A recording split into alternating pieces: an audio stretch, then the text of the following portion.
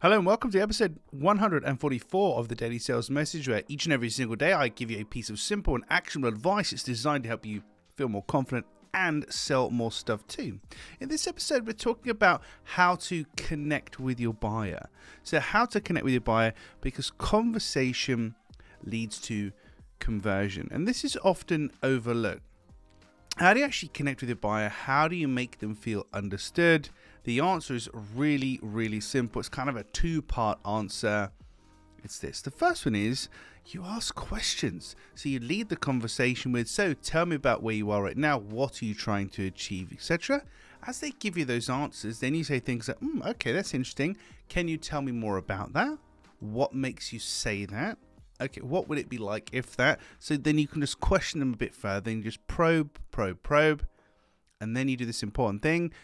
You just repeat it back to them. You mirror it back to them. Say, okay, James, so you've said that you're not sure about this and you're worried about that and blah, blah, blah, blah, blah. Have I understood that correctly?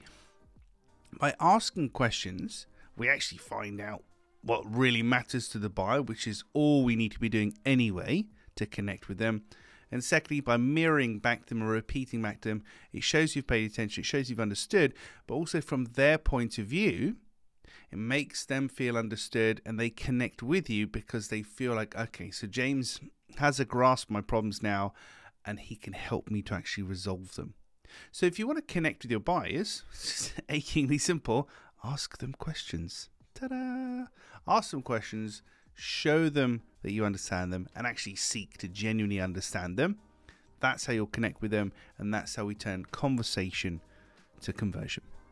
But that's it for this episode of the Daily Sales Message. Nice short one today. Tomorrow in episode 145, I'm talking about a particular message you shouldn't actually reply to. You should never, ever reply to this particular message. I'll explain more in tomorrow's episode. But please tune in for that one because if you do reply to this message, you're going to have all sorts of problems. And it's a very easily done thing, absolutely. So that's tomorrow's episode. In the meantime, thank you for listening or watching all the way to the end. If we're not already connected on LinkedIn, please jump over, find me there, James Newell, clear sales message. You shall find me.